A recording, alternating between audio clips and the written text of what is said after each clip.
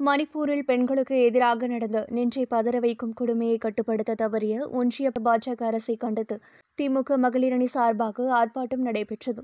ஒருங்கிணைந்த கோவை மாவட்ட திமுக மகளிரணி மகளிர் தொண்டர் அணியினர் சார்பாக இன்று கோவை டாடாபாத் அடுத்த பவுரஸ் அருகில் கண்டன ஆர்ப்பாட்டம் நடைபெற்றது. கோவை மாநகராட்சியின் மேயர் கல்பனா ஆனந்தகுமார் கூறுகையில் மணிப்பூர் கலவரம் தொடங்கிய நேரத்திலேயே தமிழக முதல்வர் தனது கண்டனத்தையும் கவலையும் சமூக ஊடகத்தின் வாயிலாக வெளிப்படுத்தினார்.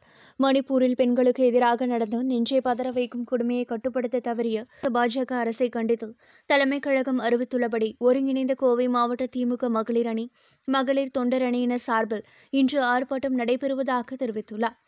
இந்த ஆர்ப்பாட்டத்தில் திமுக மாநில மகளிர் தொண்டரணி துணை செயலாளர் மாலதி நாகராஜ் திமுக மாநகர் மாவட்ட துணை செயலாளர் கல்பனா செந்தில் திமுக மாநகர் மாவட்ட மகளிர் தொண்டரணி கனிமொழி அன்னம்மாள் திமுக கோவை வடக்கு மாவட்ட மகளிர் அணி ரங்கநாயகி கோவை மாநகராட்சி மண்டல தலைவர்கள் லக்ஷ்மி இளஞ்செல்வி கார்த்திக் மீனா லோகு தெய்வானை தமிழ்மறை உள்ளிட்ட பலர் கலந்து கொண்டு ஆர்ப்பாட்டத்தில் ஈடுபட்டனர் என்பது குறிப்பிடத்தக்கது.